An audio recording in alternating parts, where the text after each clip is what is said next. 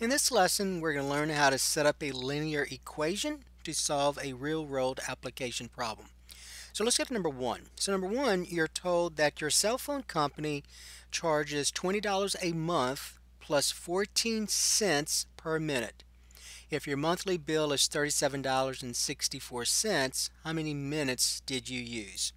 Okay, so to begin this, Let's go ahead and set up a linear equation and then we're going to use this linear equation to determine how many minutes was used for um, this monthly bill of $37.64.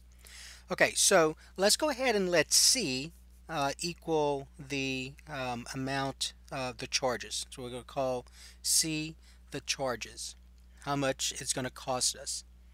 And so we're going to let um, m be the number of minutes. And so m will equal the number of minutes. Alright, so since that's what you're trying to find, we're going to let m be the number of minutes.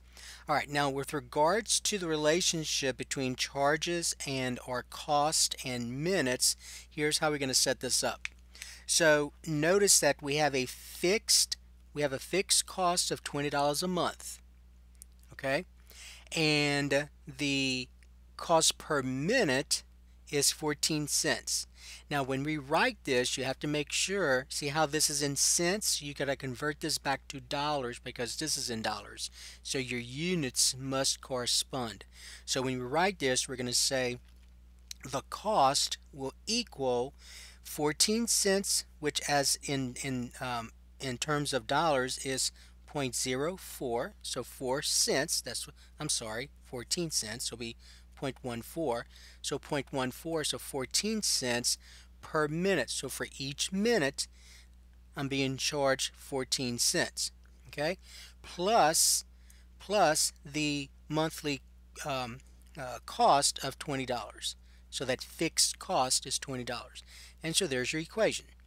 Alright so C is is how much it's going to cost me this month to use so many minutes, so many minutes at 14 cents each and a monthly um, fixed cost of $20. Okay, so that's our equation. So this is going to be our linear equation.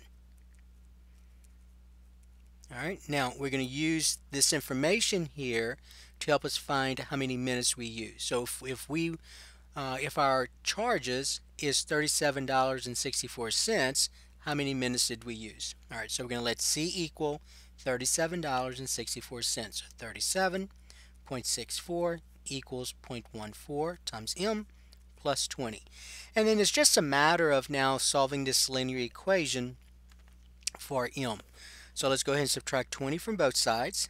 And so I get 17.64 equals 0.14 m. To get m by itself, we're going to divide both sides by 1400, so 0.14. And so when I do this, I get m, so using a calculator, 17.64 divided by 0.14, 17.64 divided by 0.14 equals 126. Alright, so what that means is, remember what we what we let m equal, m was the number of minutes, so if my monthly bill is $37.64, that means I used 126 minutes. So um, I used I used 126 minutes um, for the month. Okay. All right. So that was number one. All right. Let's look at number two. And number two, you're considering a certain telephone company they charge 20 uh, now notice how this looks compared to this one. So this one was written as, as cents right?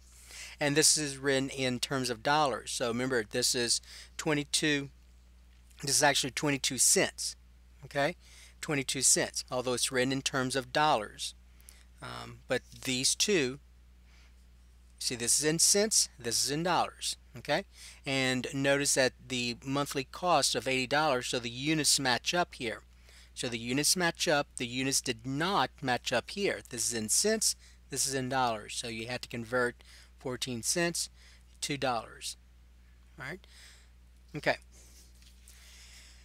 All right. So um, just like we did in the previous problem, where it says if um, If M represents the number of minutes you talk in a month and C is the total monthly charges, write an equation that represents the relationship between M and C. And so it's just like this one right here. So this is our linear equation. That's all they want. They don't want anything else. They just want to know what is this equation. All right, so let's go ahead and do that.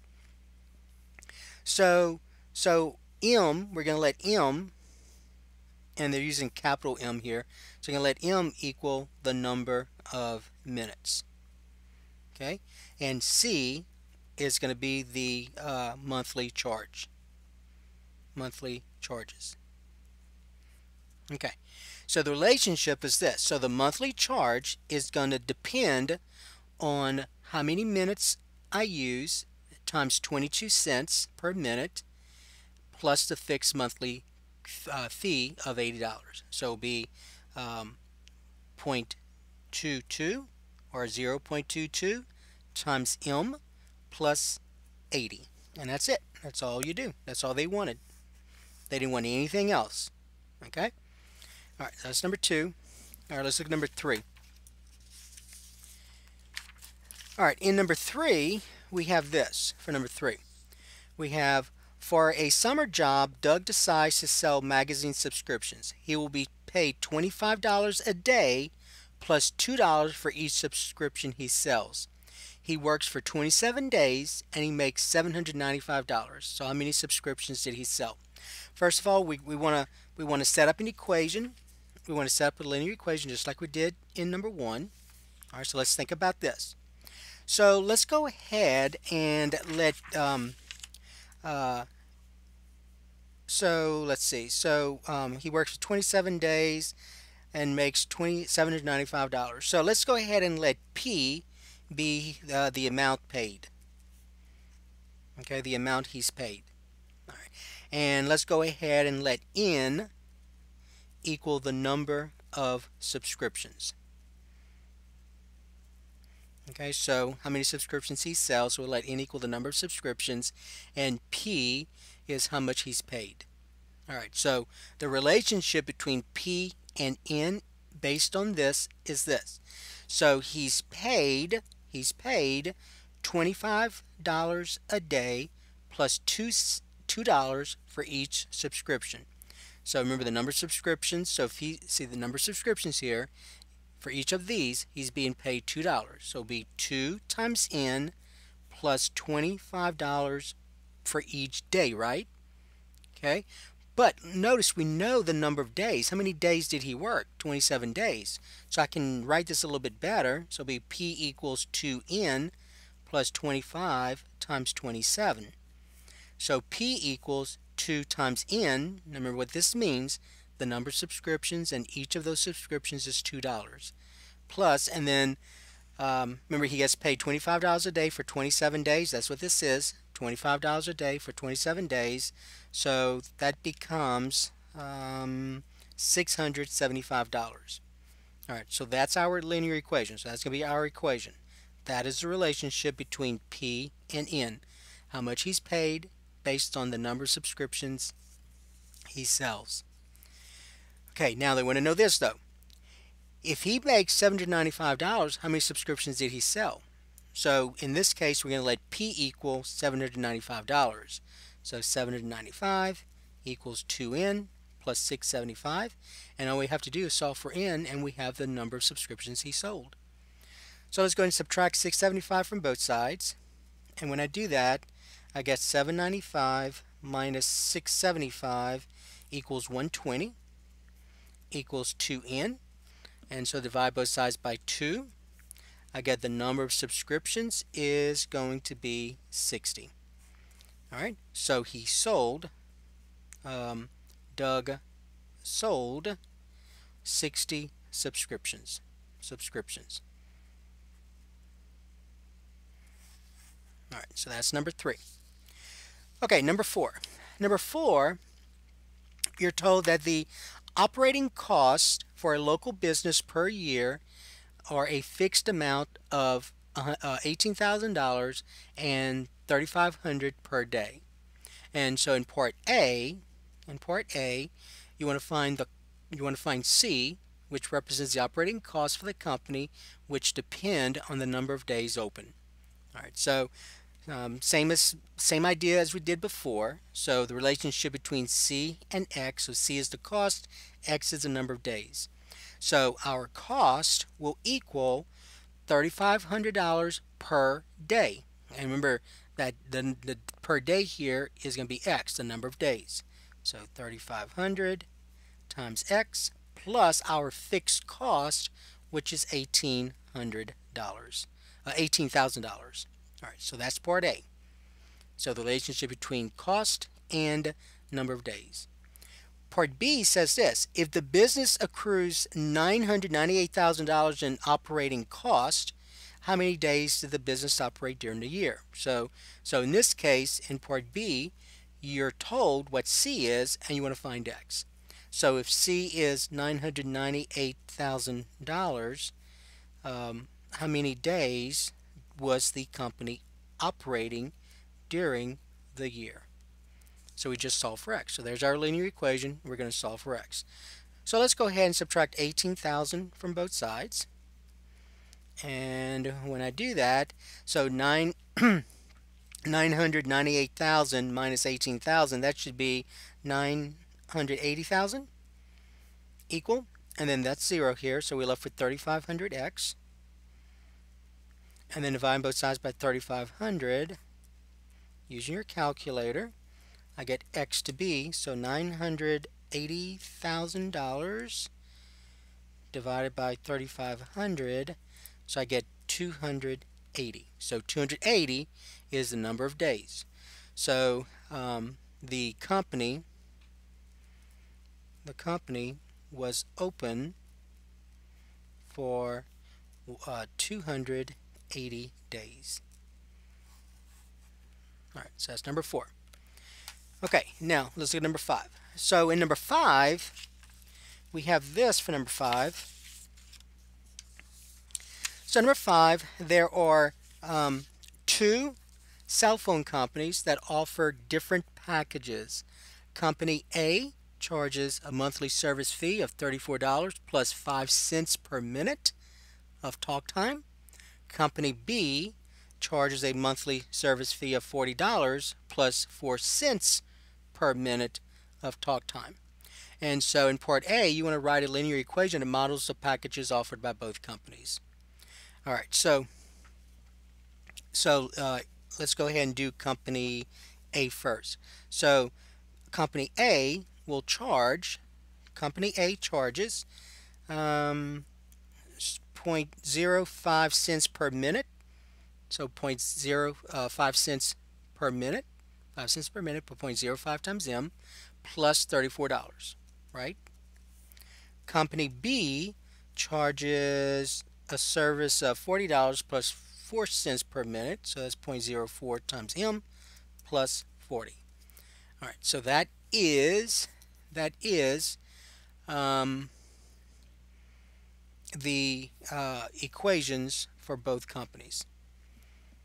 Okay, now so just to know that, that A here is going to stand for the uh, charges from company A is based on this, and the charges from company B is based on this. Okay. All right, part B. If the average number of minutes used each month is 1,160, which company offers the better plan? All right, so to do that, you're going to substitute 1,160 into M because that's what that represents. All right, so let's look at how we're going to do this. So company Let's talk about company A to begin with. So company A will charge, so we're finding out how much company A is going to cost us. So it'll be 0.05 times M, and M here is 1,160 plus 34. And so using our calculator, um, 0.05, 0.05 times 1,160 is 58. So I get 58 plus 34 which equals 92, right? So company A will, will uh, cost us $92 for this number of minutes. For company B, company B, which is this right here, so it'll be 0.04 times 1,160 plus 40. Alright, so using our calculator, 0.04, 0.04 times 1,160 equals $46.40. So 46.40 plus 40, which is $86.40. Okay? So company B, for this number of minutes, company B will cost us this amount. So based on these two amounts, which company offers the better plan? So as you can see, company B offers the better plan for these number of minutes. All right, so so you're going to say something like this. You're going to say company B offers lower monthly cost, something like this, of $86.40 compared compared with $92 monthly cost for company A. Now remember for company A that and that's that's when that's when the number of minutes used is 1060 okay so keep that in mind um, when the average when the average number of minutes used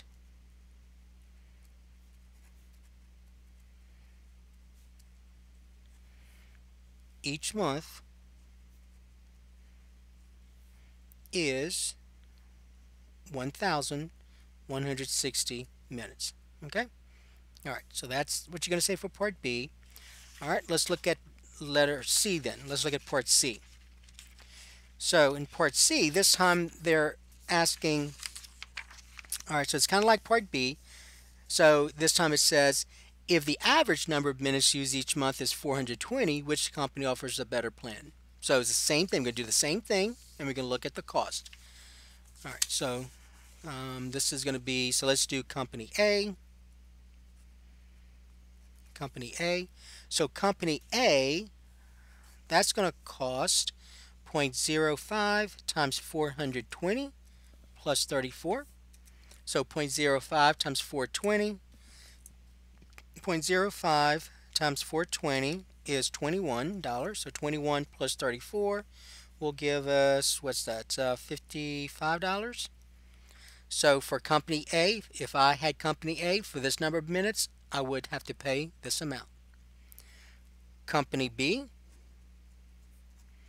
that will be 4 cents a minute, and um, I used 420 minutes, plus a fixed cost, and I think the fixed cost was $40.